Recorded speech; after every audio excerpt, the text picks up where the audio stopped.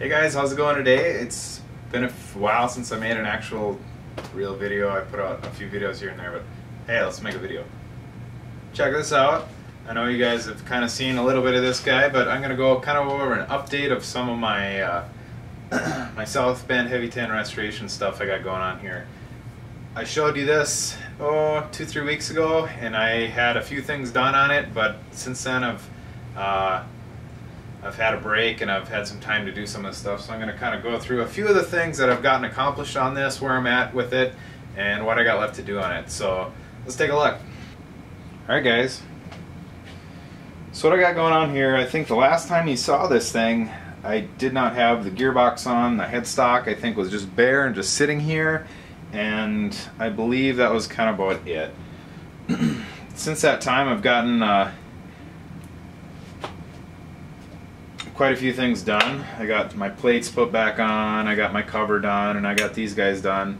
Uh, but I did get, I got a, I got three lathes to make this one good lathe, and I swapped this cover here from a different lathe, and when I got it on here, it doesn't fit. So I got to take this cover off my other lathe that matched up with this cover and put it back on here. So this one is going away, and I'm getting a different one some of the things you don't know until you actually try it. Um, I got my cups on here, which are great. I put oil in them last night and they're not leaking at all. So I must have must have done it right. I got all my new wicks in there.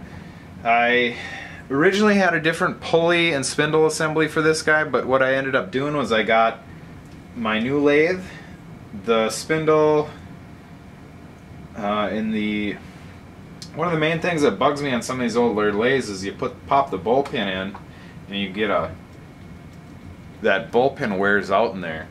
Well, the one I had here before had a little wear on it, so I just decided to swap the whole thing out.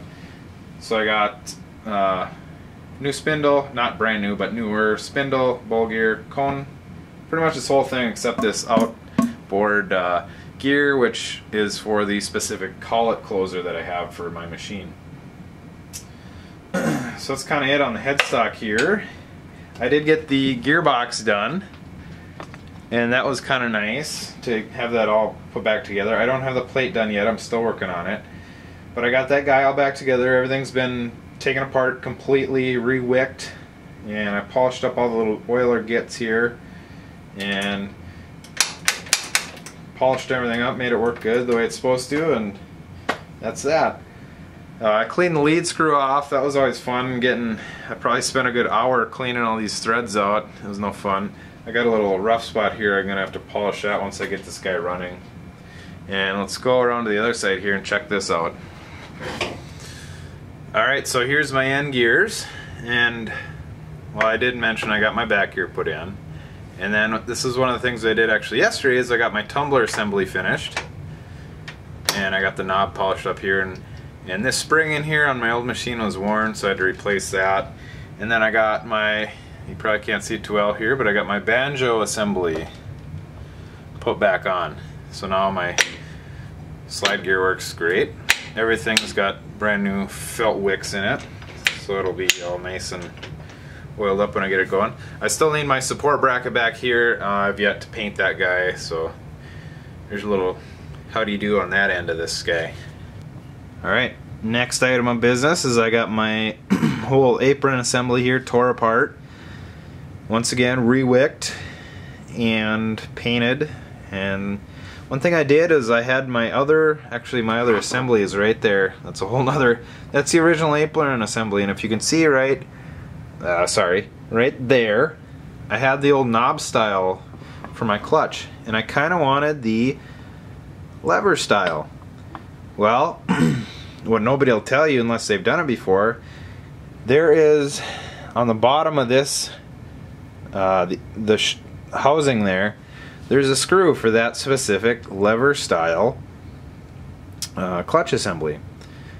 So instead of messing around with my old one, I just said screw it, and I used this whole different apron, assembly, which was in really good shape anyways, off another lathe.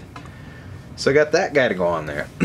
I have the saddle assembly out in the garage waiting to be painted. I got one coat on, one coat left, so that's that. still have to wire my motor up. That's has yet to be done. And my outboard drive pulley there have cracked. I still got to replace that yet too. There is my cross slide assembly. Got that guy all put back together. That, and again, the new lathe I had, my old lathe, lathe had large dials on it, but they were polished. And after looking at the polished next to the chrome ones, or the satin chrome, I decided to go with the satin because to me they seem a little bit easier to read the numbers on there. So I swapped the dials out from my uh, old machine to this, and these are in really nice shape too, so I just kept those. Alright, check that out. I don't know if you remember way back when I made a video when I first got this thing and I was heading out to get it scraped, but I, uh, these lathe plates, the ID plates were in not very good shape.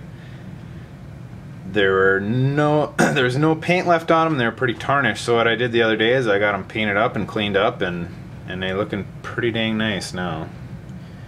I can show you my, and these are the original plates for the machine, so let me show you the gear selector plate here that I'm almost done with. Alright, here's the gear selector plate that goes on in front of the gearbox. And as you can see, this there was not much paint left on it either. So what I did, and it was in really nice shape. There's one little tiny nick down there, but other than that, it's in really good shape. And I, I wasn't quite sure how to go about doing this, but I, it actually I painted it and it got pretty good. So I did black, and then these are supposed to be red on the side, and you can see they're still painted.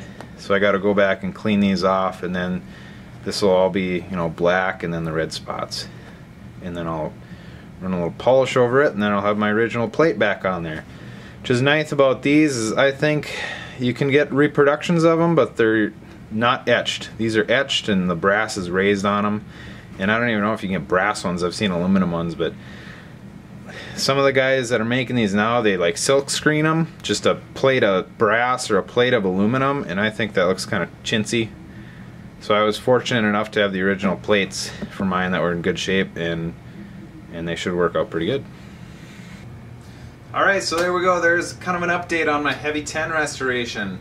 It's been a long time, not a long time, but it's been a lot longer than I would have wanted to have been, but I'm slowly but surely getting there. A couple things I didn't show you that I have to do yet. Collet closer, I got to strip paint that. Uh, I got a taper attachment. That's going to be awesome. I got to strip and paint that and fit it. That'll be fun. And what else? I got the tailstock left to do. So other than that, everything's pretty much ready to rock. I got to put a belt on it. Um, you know, my cabinet drawers and my drawer down here I have yet to do, but those are minor things. I'm slowly but surely getting it done. Um, so yeah, hopefully this has taken me about, I don't know, two or three times longer than I would have expected it to have. But Anyways, when I get a little bit further along on this guy, which I'm pretty far along now, but I'll make another video and kind of give you an update. And also, when I get completely finished with this thing, what I plan on doing is I have a ton of photos from this uh, project, and I'm going to go through and probably make just a video slideshow of it and kind of show you guys some of the stuff. I don't know if you can really see what I did, but you can see the transformation of it, I guess. Uh, one more thing, I have a modification to my apron that I'm going to make. It's said in this book here, this guy, if you guys have these, I forget who makes them. Ilion Industrial Services, there's a guy, I think he actually publishes these, but um, that's a good reference for him. Anyways, they show a modification in there for an extra oil on your uh, apron uh, hand wheel. So I'm going to put an extra oil on in there. So that's a video I'm going to be making here hopefully in the next week or two and I'll show you guys how I did that and um, what you need. It's a pretty simple conversion to do, but it's probably a good idea. I decided what the hell, why don't I do it? Anyways, enough of me talking. Okay, if you guys like that, found it somewhat enjoyable, educational, something, be sure to like, comment, share, and subscribe. So, and check out, I got a ton of other videos on this stuff. Check them out. Uh, a good time. Till next time. Stay safe on your machines and shoot safe. See you guys. Thank you.